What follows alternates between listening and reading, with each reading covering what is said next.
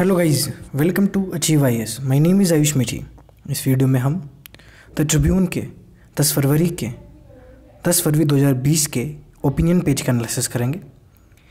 सबसे पहला एडिटोरियल हम जो डिस्कस करने जा रहे हैं, वो है लीथल ऑटोनोमस वीपन सिस्टम के बारे में और इंसेक्ट अलाइस के बारे में इंसेक्ट अलीज़ जो कि यूएस का एक प्रोजेक्ट है, दोनों इस दुनिया के लिए नेशनल सिक्योरिटी के लिए घातक बताए जा रहे हैं। चलिए, बिना देरी के शुरू करते हैं। शुरू करने से पहले मैं आपको एक बार ऊपर ऊपर से बता दूँ, कोरोना वायरस। कोरोना वायरस कहा तो यूँ जा रहा है कि वाइल्ड लाइफ के मीट के द्वारा ये निकला है, जो एग्जोटिक जो मार्केट है वाइल्ड लाइफ मीट वाला जो मार्केट है चाइना में। वहाँ पे लोगों का आना जाना लगा रहता था। तो इस वजह से वायरस वहाँ से ट्रांसमिट हो गया था। एक संभावना ये भी बताई जा रही है कि ये जो वायरस है कोरोना वायरस ये बायोलॉजिकल वीपन भी हो सकता है। या ऐसा कोई वायरस भी हो सकता है जो लीक हुआ है चाइना के लैब में से बायो लैब में से। कोई ज़रूरी नहीं है कि ये एग्जोटिक सी फ़ूड मार्केट में से ही निकला हो जैसा कि चाइना कह रहा है। तो थ्योरीज निकल के आ रही है कि वुहान के बायो लैब में से ये निकल सकता है। तो एक बहुत बड़ा जो डर अभी लोगों के दिमाग में जो रिसर्चर्स के दिमाग में जो नेशनल सिक्योरिटी जो आ, आ, के खतरे के रूप में जो निकल के आ रहा है कि आखिर ये जो डिस्कवरीज टेक्नोलॉजीज़ में हो रही है जिस तरीके से हम टेक्नोलॉजी एडवांसमेंट कर रहे हैं क्या ये हमारे लिए घातक नहीं बनती जा रही? इसका एग्ज़ाम्पल हमारे सामने लोज है। लोज जिसकी मैं पहली दफ़ा बात की थी लीथल ऑटोनोमस वीपन सिस्टम ये यूएस का, ये बेसिकली एक सिस्टम है जिसको कई कंट्रीज़ इस पर रिसर्च कर रही है। आपने वो पिक्चर देखी होगी टर्मिनेटर तो एक तरीके का रोबोट है जो आपका आर्मी मैन होता है मिलिट्री का जो जवान होता है, उसकी तरह काम करेगा, दुश्मनों को पहचानेगा और उनको एनिमी को पहचान के उसको मारने का डिसीज़न भी ले सकता है। अब इस पे यूनाइटेड नेशन ने भी चिंता जताई। यूनाइटेड नेशन ने इस पे गवर्नमेंट ग्रुप ऑफ़ एक्सपर्ट्स 2016 में कंस्टिट्यूट किया कि यार इस पे एक बार ये देखो कि पॉलिटिकली ये ऐसे तो यूनाइटेड नेशन सिक्योरिटी जनरल ने इसको पॉलिटिकली अनएक्सेप्टेबल और मॉरली रिपल्सिव बताया है और कहा है कि ये इतना बड़ा खतरा है कि इसके लिए government group of experts constitute किया गया कि आखिर हम इसको हालाँकि कई देशों ने कोशिश की एक ट्रीटी बनाई जाए। ट्रीटी होती है ना, जैसे आपके केमिकल वीपन को बायोलॉजिकल वीपन को न्यूक्लियर वीपन को रोकने के लिए जो ट्रीटीज़ हैं, वैसे इस सिस्टम को रोकने के लिए भी ट्रीटी बनाई जाए। हालाँकि ये जो प्रपोजल था, इसको अपोज किया गया यूएस और रशिया के द्वारा, क्योंकि वो इस पर काफ़ी ज़्यादा रिसर्च कर रहे हैं। चाइना भी जो है, बिल्कुल, देखो चाइना इसके यूज़ पे बैन के लिए बिल्कुल सहमत है, लेकिन वो इसके रिसर्च और डेवलपमेंट पे काम करने की सोच रहा है।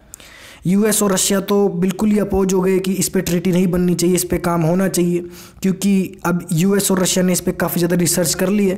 दोनों आपस में कट्टर दुश्मन हैं और ये जो सिस्टम है, ये काफ़ी ज़्यादा घातक भी हो सकता है। तो कहा जा रहा है कि लॉज जो हैं, ये जो सिस्टम है, ये तैयार है बिल्कुल। अब आप चिंता का विषय ये है कि एक इंसान, एक रोबोट कितना भी बड़ा स्किल्ड हो, कितनी भी उसमें स्किल्स हो, क्या वो ह्यूमन इमोशन के साथ मैच कर सकता है? क्या वो एथिक्स की बात कर सकता है? क्या वो वैल्यूज़ की बात कर सकता है? ह्यूमन जितनी वो प्रोग्रेस इस एरिया में वो कर सकता है, बिल्कुल भी नहीं। लेकिन जिस तरीके से ये जो लीथल ऑटोनमस वीपन सिस्टम है, जिसको इसराइल साउथ कोरिया यूके भी इस पर डेवलप करने की कोशिशें कर रहे हैं और ऐसे डेडली रोबोटिक वीपन्स बनाने की कोशिश कर रहे हैं, इससे सैडली अनफॉर्चुनेटली ये एक कॉन्फ्लिक्ट का इशू बनता जा रहा है।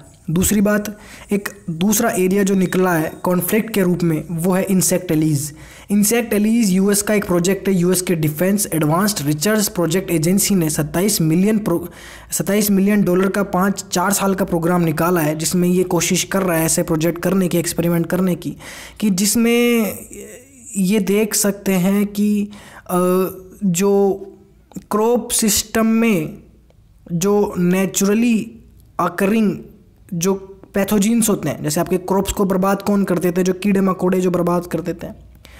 तो इसमें इस प्रोजेक्ट में ये कोशिशें की जा रही है कि वायरस को जेनेटिकली मॉडिफाई करके इंसेक्ट को यूज़ करके और क्रॉप्स तक ट्रांसफ़र कर दिया जाए। अब इंटेंशन तो ये है कि हम किसी तरीके की क्रॉप्स की जो डिसीज़ है, उनको रोक देंगे वायरस को जेनेटिकली मॉडिफाई कर देंगे। लेकिन मैं आपसे एक बात पूछता हूँ कि इंटेंशन तो इस पर रिसर्च करने वाले यूएस की काफ़ी सही है। लेकिन आप ये बात बताओ कि न्यूक्लियर वेपन क्यों बनाया गया था? न्यूक्लियर जो था, आज जो हमारे आतंकवादी हैं, उनके पास साइबर सिक्योरिटी का यूज़ कर रहे हैं। सॉरी हैकिंग का यूज़ कर रहे हैं वो। न्यूक्लियर पावर का वो यूज़ करने के मिसाइल्स वगैरह यूज़ कर रहे हैं वो। जो हमारे आतंकवादी ग्रुप से उन, उनके पास एडवांस्ड वीपन सिस्टम है। तो क्या हम इस इंटेंशन के साथ इनको डेवलप करने की कोशिश की थी कि आ, कि ये भी किसी दिन आतंकवादियों के हाथ में चल जाएँगे? कभी सोचा था हमने? नहीं। इंटेंशन हमारी सही थी लेकिन इसका इम्फेक्ट और इम्प्लीकेशन बहुत गलत हुआ। तो इस तरीके से जो लीथल ऑटोनोमस वीपन सिस्टम है और जो इंसेक्ट एलीज वाला जो प्रोजेक्ट है ये अगर किसी भी गलत हाथों में पड़ गया तो ये मान लो जैसे पाकिस्तान के हाथों में पड़ गया। या मान लो किसी अलकायदा ग्रुप के या किसी आतंकवादी ग्रुप के हाथों में पड़ गया। अब ये क्या कर सकता है कि वायरस को जेनेटिकली मॉडिफाई करके ख़तरनाक वायरस बना के इंसेक्ट के द्वारा ट्रांसपोर्ट करवा सकता है दुश्मन देश की क्रॉप्स पे। अब दुश्मन देश के जो लोग खाना खाएँगे, बीमार हो जाएँगे और बहुत गलत हेल्थ का इफ़ेक्ट भी पड़ सकता है, ये डिपेंड करेगा कि किस तरीके से मॉडिफाई किया गया है वायरस को जेनेटिकली तो रिसर्च और डेवलपमेंट पे जो ये चाइना कह रहा है कि इस पर रिसर्च और डेवलपमेंट होनी चाहिए। मैं ये कहता हूँ रिसर्च और डेवलपमेंट आप कर भी रहे हो तो क्यों? आखिर इसका फ़ायदा क्या होगा अगर ये गलत हाथों में पड़ गया तो? मान लो अगर किसी आतंकवादी या किसी दुश्मन देश ने राइस मेज की क्रॉप्स पर अटैक कर दिया तो लोग क्या खाएँगे? तो इंटेंशन ऑब्जेक्टिव तो सही बता रहे हैं, लेकिन बात यही निकलती है कि इसका इफ़ेक्ट गलत हो सकता है। भारत एक मेंबर है यूनाइटेड नेशंस का और हमेशा ये कॉन्फ्लिक्ट्स को अपोज करता हुआ आया है। लॉज और इंसेक्ट एलीज के लिए अपन को ट्विक ट्रैक अप्रोच अपनानी पड़ेगी। सबसे पहली बात तो एक लीगली इन्फोर्सेबल ट्रीटी किसी ना किसी तरीके से आई जाए। एक बार लीगली इन्फोर्सेबल ट्रीटी आई जाए जिसको यूएसए और रशिया अपोज कर रहे हैं। और उसके बाद रिसर्च और डेवलपमेंट को इस पर बैन किया जाए। क्योंकि रिसर्च और डेवलपमेंट करोगे, जितना डेवलपमेंट करोगे, उतना ज़्यादा नॉन स्टेट एक्टर्स के हाथ में, एक होते हैं स्टेट एक्टर जो आपकी गवर्नमेंट हो गई।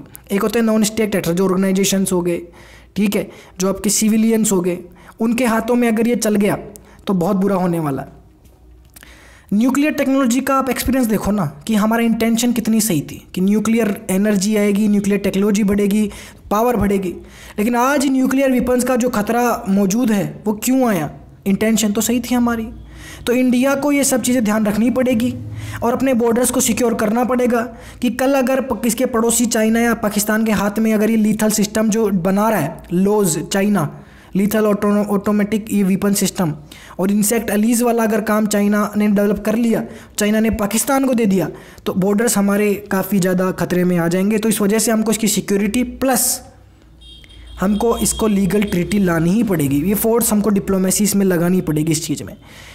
सबसे अच्छा कोट यहाँ पे मुझे लगा जो कंक्लूजन में है और का इसलिए मैं इस न्यूज़पेपर को आपको पढ़ाता हूँ जो आप अपने मेंस के आंसर में लिख सकते हैं कि in matters of national security confidence in the status quo cannot be based on the stated good intentions of nations national security के मामले में जो कंट्रीज़ हैं, उनकी इंटेंशन सही हो सकती है, लेकिन इस पर कॉन्फिडेंस हम नहीं जता सकते। पूरी तरीके से कि ठीक है, बिल्कुल जो नेशंस हैं, के इंटेंशन से बिल्कुल सही हैं। तो इंटेंशन पे नहीं जाना, हमेशा इफ़ेक्ट और इम्प्लीकेशन पे जाना है, ठीक है? एक आर्टिकल यहाँ पे आया बेडलेम इन पार्लियामेंट आपको पता है पार्लियामेंट के पिछले दिनों काफ़ी ज़्यादा जो वीडियोस वायरल हुई, जिसमें लोकसभा में ऐसे सीन्स देखने को मिले कि जो लैंग्वेज थी वो अल्प अनपार्लियामेंट्री थी, जिसमें कांग्रेस लीडर राहुल गांधी ने भी कुछ ऐसी बातें बोली प्राइम मिनिस्टर नरेंद्र मोदी ने भी कुछ ऐसी बातें बोली, जहाँ से आपत्ति निकल के आई कि जो शब्दों का इस्तेमाल किया गया राहुल गांधी के द्वारा और मोदी जी के द्वारा, वो पार्लियामेंट्री लैंग्वेज के अनुसार नहीं है। तो ये बात निकल के आ रही है कि क्या हमको अनपार्लियामेंट्री लैंग्वेज की ज़रूरत है? तो इस पे जो है आपका मेंस का आंसर आ सकता है। तो unparliamentary language parliamentary privilege parliamentary privileges के बारे में breach of breach of parliamentary privileges के बारे में पॉलिटी की बुक में पढ़ते रहिएगा। ठीक है? ज़रूरी है। ड्रग्स एंड मेडी रेमेडीज एक्ट 1954 देखो, आपको पता है आजकल कितने एड्स आते हैं कि ये क्रीम लगा लो, गोरे हो जाओगे। ये लगा लो लंबे हो जाओगे।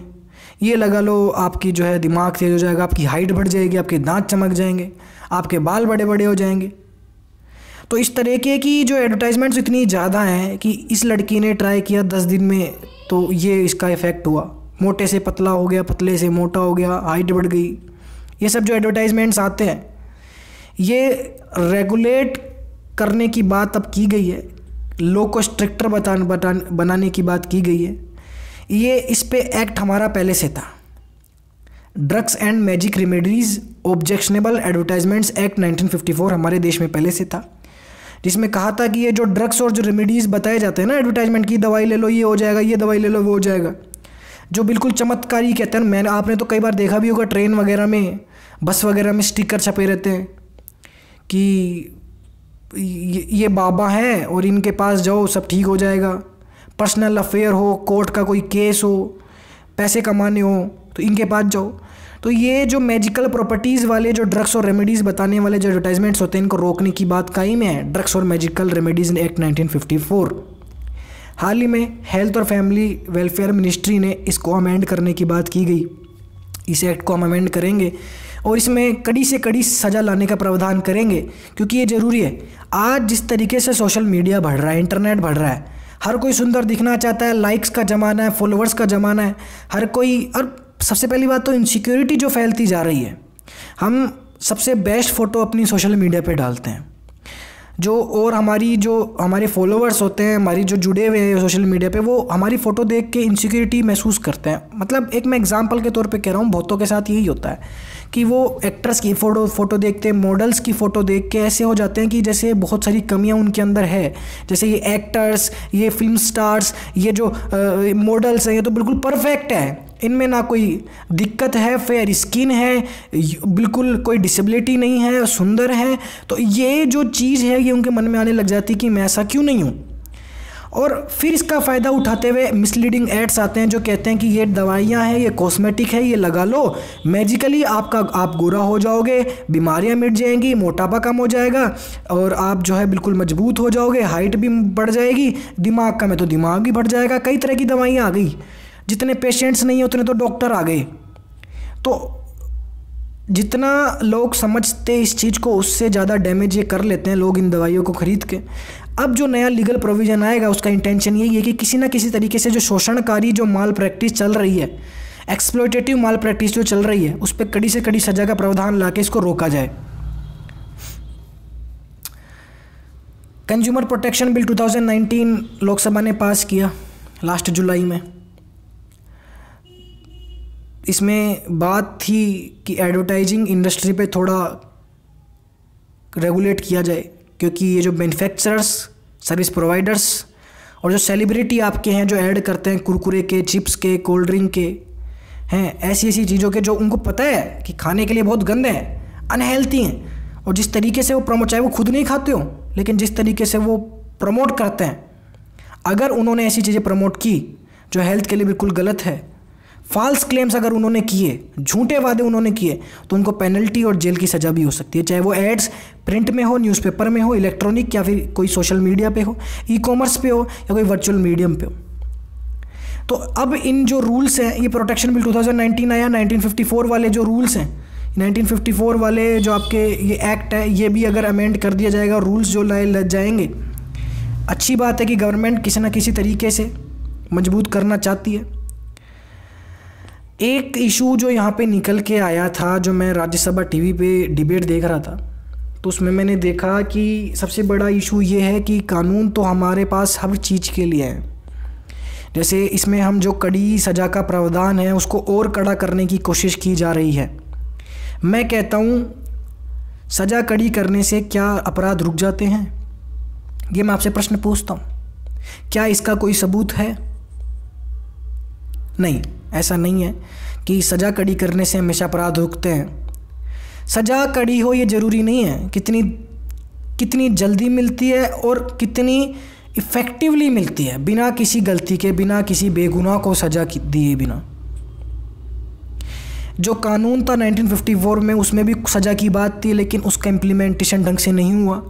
तो हमको लगा कि गलती सज़ा में है, कि सज़ा को कड़ी करनी पड़ेगी। हालाँकि अच्छी चीज़ है, अगर सज़ा हम और और सज़ा बढ़ाने की कोशिश कर रहे हैं और जो है स्ट्रिक्टर हम करने की कोशिश कर रहे हैं।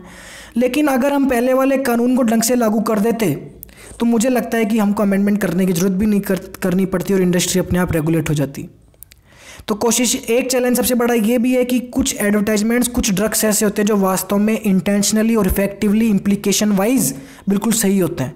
जो कहते हैं वो पूरा होता है वो कहते हैं कि अगर ये बीमारी का इलाज वो कर सकते हैं तो कर सकते हैं। आखिर इन एडवर्टाइजमेंट्स की तरफ़ लोग चले क्यों जाते हैं? एक तो सोशल मीडिया वाला रोल मैंने बताया कि लोग काफ़ी इनसिक्योर है मॉडल्स को देख के फ़िल्म स्टार्स को देख के, और बिल्कुल लड़कियाँ खासकर काफ़ी इनसिक्योर हो जाती हैं जब वो फेयर स्क्रीन स्क्रीन देखती है और सब कुछ जो गोरापन जो उनको सोशल मीडिया पर नज़र आता है, जो सुंदरता उनको नज़र आती है। तो कन्वेंशनली अगर आप जाएँगे हॉस्पिटल्स में कोई बीमारी का इलाज कराना है हाइट बढ़ानी है, या आपको गोरापन लाना है तो आपको हॉस्पिटल में वो इलाज नहीं मिल पाए। तो जो हेल्थ सिस्टम है, उससे असेस नहीं होती, खासकर की जो मिडिल क्लास फैमिलीज़ की तो वो इन चीज़ों की तरफ़ भागने की कोशिश करती है। एक तो ये सबसे बड़ा चैलेंज दूसरी बात, हो सकता है कि एडवर्टाइजमेंट्स जो बताए गए हैं, जो ड्रग्स जो बताए गए हैं, वो इफ़ेक्टिवली सही हो। तो हमारा चैलेंज ये भी है कि इन इन एडवर्टाइजमेंट्स को जो है पनिश नहीं किया जाए, जो वास्तव में इंटेंशनली और इम्प्लीकेशन वाइज सही हो। तो कानून में बदलाव लाने से कुछ नहीं होगा। ग्राउंड लेवल पे कितना इम्प्लीमेंटेशन होता है, उस पर इस सरकार की वाहवाही होनी चाहिए। गाइज़ ये थी हमारी वीडियो आई होप आप सबको समझ में आया होगा.